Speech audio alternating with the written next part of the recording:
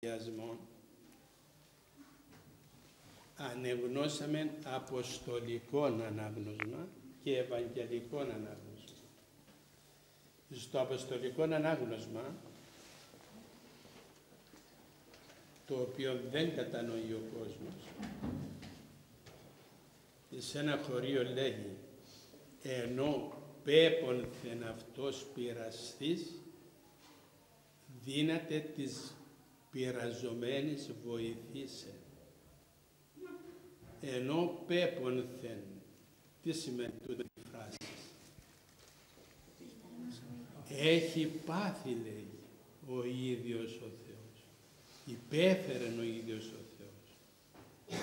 Δεν τον κατεδίωκαν, δεν έπειραν πέτρες να τον λιθοβολήσουν. Δεν του έλεγαν ότι είναι ο άρχον των δαιμονίων και δι' αυτό διώχνει τα δαιμόνια. Δεν του έλεγαν ότι δεν έχει καμία εξουσία. Δεν τον ευλασφημούσαν. Δεν τον ετυράνισαν. Δεν τον εγέμισαν με αίματα. Δεν τον εκάρφωσαν πάνω στο σταυρό. Και εκείνος έλεγε ότι διψώ και εκείνος έλεγε «Πατέρα μου, άφες αυτής, ουγαρίδαση τι ποιούσι». Έπαθε λοιπόν ο Θεός μας και επειδή ενώ πέπονθε λέγει αυτός πειραστής, διότι ο διάβολος τον πείραζε και πολεμούσε εναντίον του, ποιου του Θεού. Να μην καυχεθούμε και να πούμε δεν μπορεί ο διάβολος να μας πειράξει. Έπειτα να μην υπερηφανευτούμε και να πούμε ότι δεν υπάρχει διάβολος. Προσέξτε τα αυτά, διότι ο περισσότερος κόσμος σήμερα λέγω δεν υπάρχει διάβολος. Και ο διάβολος λέει εδώ, εμένα είναι η καλύτερη μου επιτυχία λέγει, είναι να σε πείσω ότι δεν υπάρχει και λέγει και τούτα τα λόγια εδώ στον Άγιο Γεώργιο. Δεν τον βλέπεις λέγει, δεν με βλέπεις. Εννοεί τον Θεό και τον εαυτό Δεν τον βλέπεις λέγει, δεν με βλέπεις. Άρα δεν υπάρχει, δεν υπάρχει. Και ο κόσμος ο οποίος είναι μέσα στην αμαρτία δεν μπορεί να καταλάβει και ο διάβολος εδώ ηρωνεύεται. Ηρωνεύεται διότι κάνουμε το θέλημα. Εάν σας πω αυτή τη στιγμή για σας ερωτήσω πόσες γυναίκες δεν εφόρεσαν παντελόνι; Πεςτε. Οπουδήποτε. Οπουδήποτε. Ούτε μία. Εγώ τώρα σας μιλώ τι λέει ο Θεός. Από εκεί και πέρα ελέξετε τον εαυτό σας και όταν δείτε ότι είμαι θα ένοχη πρέπει να εγκαταλείψουμε την αμαρτία και να έρθουμε στον Θεό. Δεν ελέγχω κανένα, δεν μιλώ εναντίον κανενός τίποτε, παρακαλώ, συμβουλεύω και μιλώ τα λόγια του Θεού. Από εκεί και πέρα εκείνος ο οποίος θα ακούσει ή ακούσε, εκείνος ο οποίος θα τα απορρίψει, θα τα απορρίψει. Γιατί εφόρασε η γυναίκα το παντελόνι; Γιατί, μπορείτε να μου πείτε. Γιατί το φόρεσε. Πρώτο ερώτημα, έχω και άλλα ερώτημα. Γιατί το φόρεσε το παντελόνι η γυναίκα; Διότι υπάρχουν δύο φωνές δύο φωνές. Η μία φωνή είναι του Θεού, η οποία σου λέγει παιδί μου, ακολούθησέ με. Η άλλη φωνή είναι του κακούργου, του σατανά, ο οποίος λέγει παιδί μου ακολούθησέ με. Σου φέρνει με αγάπη. Ένα παιδάκι μου λέγει απ' εδώ, δεν είναι ανάγκη να είσαι απ' εκεί. Μην του ακούεις εκείνο, άκουσε μου εμένα. Ο Χριστός έχει το δικό του γραμμένο βιβλίο. Ποιο είναι; Η Αγία Γραφή. Ο διάβολος έχει το δικό του γραμμένο βιβλίο. Ποιο είναι; η μόδα, αχ αυτό το, το κακούργημα, αυτό το θεοκατάρατο, αυτό, τι να πω άλλο; Φωνάζει ο Θεός παιδί μου μείνε κοντά μου, φωνάζει ο διάολος έλα εδώ κοντά μου και πάμε να εκεί. Ποιος θέλει τον Ποιος είναι εκείνος που φταίει; Φταίει ο Θεός. Σου λέγει έλα παιδό κοντά μου και πας. Η μόδα λέγει, εφόσον το λέγει η μόδα, γιατί εγώ να παραβώ τη μόδα, μα η μόδα ποιος την έχει; Έκανε τις γυναίκες να περπατούν στους δρόμους και να είναι παίγνιον του διαβόλου. Έτσι. Μόδα τώρα. Α. Ποιος είπε στη γυναίκα τώρα να γυμνώνεται και να περπατά στους δρόμους και να φαίνονται οι κοιλιές της και το σώμα της; Ποιος, ποιος, ποιος το είπε; Το είπε ο Θεός; Όχι. Το είπε ο διάβολος. Ενώ το είπε ο διάβολος, εσύ γιατί του ακούεις; Εφόσον είναι ο εχθρός ο άσχοντος, γιατί του ακούεις; Ποιος σε αναγκάζει;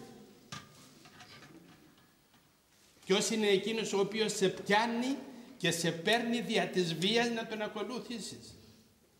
Ο Θεός λέει όποιος θέλει να με ακολουθήσει.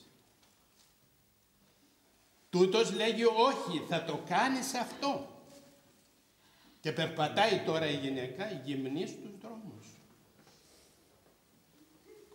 Να πάμε στην Αγία Γραφή να δούμε ποιος ήταν γυμνός. Ποιος ήταν γυμνός στην Αγία Γραφή. Σιωπάτε και θα το ακούσετε. Σιωπάτε και θα το ακούσετε. Σιωπάτε και θα το ακούσετε. Όταν ο Χριστός εθεράπευε τον κόσμο, επέρασε από ένα χωριό που το έλεγαν Γεργεσινούς, Γέρεσα ή Γέρασα και οι κάτοικοι Γεργεσινοί ή Γαϊδωρινοί, Γάδαρα, Γαδαρινοί και εμείς προσθέτουμε Γαϊδωρινοί. Όταν περνούσαν από εκείνο το χωριό, πέρασαν από ένα νεκροταφείο. Όταν πέρασαν από εκείνο το νεκροταφείο, μέσα είχε ένα δυστυχισμένο πλάσμα. Από αυτά τα οποία υπάρχουν σήμερα. Αν πάτε στο άσυλο των φρονοπαθών εκεί κάτω, θα δείτε πολλούς. Όσοι είναι εκεί μέσα εκεί, είναι όλοι από τον διάβολο.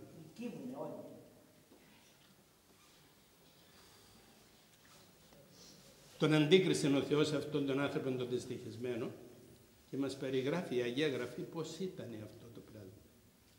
Πρώτο πρώτο λέγει ήταν άγριο. Δεν μπορούσε να περάσει κανείς από εκεί. Είχε τόση αγριότητα πάνω του που όποιος περνούσε από εκεί τον έπιανε ο τρόμος και ο φόβος. Δείγμα καταλήψεως του διαβόλου. Ο διάβολος είναι άγριος. Είναι, λέγει, ανθρωποκτόνος και ψυχοκτόνος. Φωνεύει και το σώμα, φωνεύει και την ψυχή όταν τον αφήσει ο Θεός και προσέξτε εδώ τι μου λέγει. Αν με άφηνε εκείνος λέγει ένα λεπτό της ώρας λέγει ελεύθερον θα βούλιαζα την γη ολόκληρον. Μπορείτε να φανταστείτε πόση αγριότητα έχει πάνω του και πόση κακία. Γίναστε να το φανταστείτε. Όταν τον ομολογεί εδώ γιατί τον πιέζει η χάρη του Θεού και τον χτυπάει. Ώστε πρώτον το οποίο είχε αυτός ο δυστυχισμένος άνθρωπος ήταν η αγριότητα που είχε πάνω του. Το δεύτερο.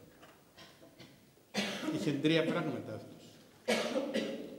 Το δεύτερο ή το λέγει γυμνός και ημάτιον ου και νεδιδίσκετο. Δεν αφορούσε φορέματα. Είναι η εικόνα αυτή σήμερα μπροστά μας ή όχι; Είναι μπροστά μας ή όχι; όταν ξεγύμνωσε ο, ο, διάβολος τον άνθρωπον και τον έκανε παίγνιον του διαβόλου, όταν έριξε την γυναίκα σε τέτοια πάτημα, σε τέτοιον εξευτελισμό, σε τέτοια κατάπτωση, σε τέτοια ντροπή, δεν, δεν είδα καμιά γυναίκα να κάνει συλλαλητήρια στους δρόμους και να πει γιατί μας δείχνετε γυμνές μέσα στις τηλεοράσεις; Γιατί μας δείχνετε να κάνουμε αυτές τις ασχημίες; Εμείς δεν τα κάνουμε, διαμαρτυρόμεθα, να κλείσετε τις τηλεοράσεις. Το είπανε. Ποιες γυναίκες ετάραξε.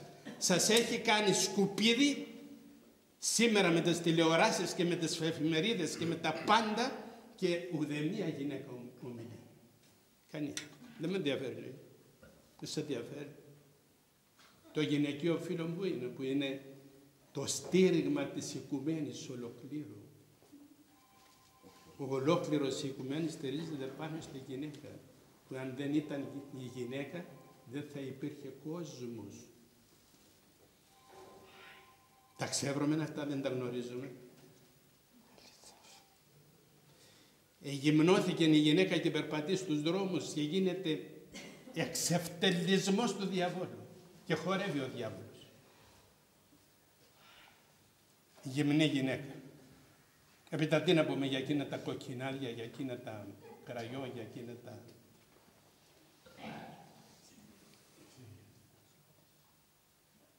Τα άπρεπα, ότι άπρεπα υπάρχουν. Και προχωρούμε να δούμε. Γυμνή γυναίκα λοιπόν, γυμνός ο δυστυχισμένος άνθρωπος μέσα στο μνήμα, και τρίτον, τι είχε εκείνο το πλάσμα; Εν οικία λέγει ου και εμένεν, αλλεν της μνήμας. Μέσα στο σπίτι δεν μπορούσε να το χωρέσει το σπίτι. Μήπως χωράει σήμερα την νεότητα το σπίτι; Ναι, για πέστε με να δούμε. Αχ, αυτή η νεότητα σήμερα τη χωράει το σπίτι και πώς οι γονείς κλαίνε και οδύρονται και φρύτουν πως οι γονείς φεύγουν τα παιδιά από την αγκάλη τους και λέγουν πώς θα γυρίσει πίσω; Και γυρίζει πίσω ναρκωμανής, μεθυσμένος, με εκείνο το τσιγάρο. Πόσοι πίνουν τσιγάρο εδώ; Ένα εδώ. Πόσοι πίνουν τσιγάρο; Μην το βάλετε στο στόμα σας, μην το βάλετε στο στόμα σας, διώξετε το, καταπατήστε το, λιώστε το χάμο. Διώξετε το, είναι του διαβόλου, είναι το διαβολόχορτο. Διώξετε αυτό το τσιγάρο. Φωτεινούλα, τώρα μόλις βγει ο κόσμος θα πάρεις το τσιγάρο από εκεί και να τους δώσεις από ένα βιβλιαράκι και όσα είναι το κόστος τους Σπάρτα εκείνα τα χρήματα για να τα πόσο. Το τσιγάρο είναι γραμμένο ολόκληρο βιβλίο εκεί. Να δείτε τι, τι έχει, τι αποτελέσματα έχει τον θάνατον, τον θάνατον, τον θάνατον. Πέντε χρόνια στον Ευαγγελισμό που με αξίωσε ο Θεός μας και υπηρέτησα τον Χριστό μας πάνω στο κρεβάτι, πέντε χρόνια ανεξομολόγησα στο καρδιολογικό τμήμα. Δυο χιλιάδες κόσμο, να μην πω πέντε χιλιάδες, δυο χιλιάδες κόσμο. Όλοι ήσαν καπνιστές και επέθαιναν και είχαν το τσιγάρο στο στόμα. Μπορείτε να φανταστείτε πόση μεγάλη δύναμη έχει ο διάολος για να κρατάει αυτά τα πλάσματα υποχείρια δεμένα με αλυσίδες από το λαιμό, από τα χέρια, από τα πόδια του λέγει, από τον τραβά, από τη μύτη, έλα του λέγει εδώ. Τα πάντα μπορεί να στερηθεί τα πάντα από τα παιδιά του, από τα φορέματά του, από το φαγητό των παιδιών, από τα πάντα φτάνει να βρει το τσιγάρο, να το αγοράσει, να το πιει, να το φίξει. Ήμουνα σε, σε ένα μέρος, δεν θα το ορίσω το μέρος, το λοιπόν και είχε μία η οποία κάπνισε. Την είδα εκεί. Μου εκκίνησε την περιέργεια σε ένα πράγμα. Όταν έκανε ε, περίμενα να δω από τη μύτη, από τα αυτιά, από το... από πού θα βγει αυτός τον καπνό που ερούφηξε. Ούτε ίχνος καπνού, ίχνος, ίχνος, να δω ίχνο. Πού έπηγαινε εκείνος ο καπνός, πού, πού καταστάλαζε. Σε ποια, σε ποια, σε ποια όργανα πήγαινε αυτό το, το δηλητήριο, το δηλητήριο; Πού πήγαινε; Όλοι όσοι καπνίζουν βγάζουν πούφου πούφου και το βγάζουν. Τον πίνουν, τον βγάζουν. Αυτή που τον έβαζε. Και έμεινα απορριμμένος και έλεγα Θεέ μου τι γίνεται, πώς θα, πόσο θα ζήσει αυτή η γυναίκα; Πόσο θα ζήσει; Πόσα χρόνια περιμένει ο Θεός;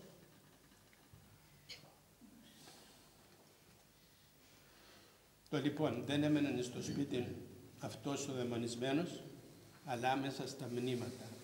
Στα μνήματα. Μνήματα. Πού είναι τα μνήματα σήμερα; Πού πάνε οι νεότης, πρώτα πρώτα, πάει στη σάρκα. Πρώτο πρώτο. Το σαρκείο. Η πορνεία, η μοιχεία και τώρα η ανώμαλη. Φτάσαμε και τους ανωμάλους απαντρεύονται άντρες με τους άντρες, γυναίκες με τις γυναίκες και να έχει και πολιτικούς να τους υποστηρίζουν. Δεν θα πω τίποτα από εδώ και πέρα, κανονίστε το εσείς. Να υποστηρίζουν αυτά τα μοιάσματα της κοινωνίας.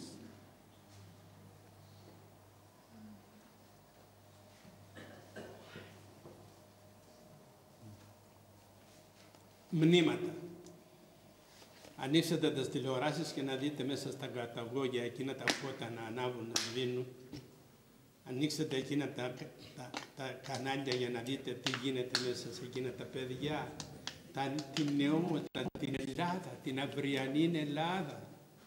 Ποιες μητέρες θα γίνουν μητέρες αυτά τα πλάσματα που είναι γυμνά, μεθυσμένα μέσα στα καταγόγια, μέσα στα μνήματα του διαβόλου. Αυτά είναι τα μνήματα. Και αν οικογένεια θα κάνουν αυτά. Έρχονται να εξομολογηθούν τα παιδάκια μου και λέω παιδάκι μου γιατί δεν παντρεύεσαι; Απαντά. Και αν να παντρευτώ λέει. Δεν υπάρχει καμιά. Δεν υπάρχει καμιά. Και αν ευρώ λέει; Όταν της πεις παιδάκι μου φύλαξε την αγνότητά σου διότι εσύ θα παντρευτείς με τον Θεό. Όχι λέγει δεν κάνω όπως κάνουν οι άλλοι λέγει δεν παντρεύονται. δίδει την αγνότητά της που είναι το μεγαλύτερο δώρο που δίδει ο Θεός μετά από την ψυχή είναι η αγνώτης. Και το πρώτο το οποίο δεν πρέπει να χάσουμε είναι ο Θεός, η ψυχή μας και η αγνότητά μας, η παρθενία μας. Αυτό, αυτά τα τρία. Όποιο χάσεις από αυτό, αν χάσεις τον Θεό, καλύτερα να μην γεννάσου. Εάν χάσεις την ψυχή σου, τι κέρδισες. Και αν χάσεις την τιμή σου, τιμή δεν έχει δεν επιστρέφεται πίσω. Παιδάκια μου, λέμε ότι ο κόσμος εδαιμονίστηκε. Ο κόσμος είναι δαιμονισμένος, δαιμονοκρατούμενος κόσμος. Να μιλήσουμε για τη βλασφημία. Πού θα πάμε; Μωρών τεσσάρων ετών δεν θα το ξεχάσω. Περνούσα απ' έξω από το σπίτι και το μαρουλάκι της Σάρο χρονών μόλις άρχισε να ομιλεί, βλασφημούσε τον Χριστό και την Παναγία μας. Ποιος το δίδαξε, οι γονείς, ο πατέρας. Ο πατέρας, ο πα, πα, πα, παππούς, οι γιάτες. Έπειτα έρχονται εδώ τα παιδιά μου, παιδάκι μου, ερωτώ, μέσα στο σπίτι σου βλασφημά κανείς; Ναι, λέει ο άντρας. Ε, τι ζήτας, τι θέλεις, τι, τι έρχεσαι εδώ; Να κάνεις τι,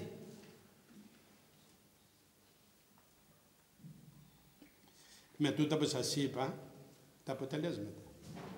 Πλημμύρες, χαλάζι, καταστροφές, σεισμοί, αρρώσκες, ό,τι φανταστούμε. Τα δίδει ο Θεός για να ξυπνήσουμε, δεν ξυπνούμε. Δεν ξυπνούμε. Πότε θα ξυπνήσει ο, ο κοιμισμένος άνθρωπος, εφόσον είναι μεθυσμένος και κοιμισμένος; Ποτέ. Το λοιπόν, Παιδάκι μου, εδώ θα σταματήσουμε. Θα σταματήσουμε ως εδώ, διότι εάν θέλουμε να ομιλούμε για αυτά τα Άγια Λόγια, για αυτά τα οποία είναι ο Θεός ο ίδιος, δεν τελειώνουμε.